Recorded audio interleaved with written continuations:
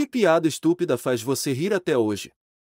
Eu trabalhava em um zoológico e um dia o gorila morreu de velhice. O problema era que era o único gorila do zoológico e ele não era muito lucrativo, mas ainda assim era muito popular. E o zoológico não tinha condições de ficar mais um dia sem o gorila. O dono do zoológico veio falar comigo e me ofereceu 200 reais extras por dia para eu me fantasiar de gorila até comprarmos outro. E com certeza eu aceitei.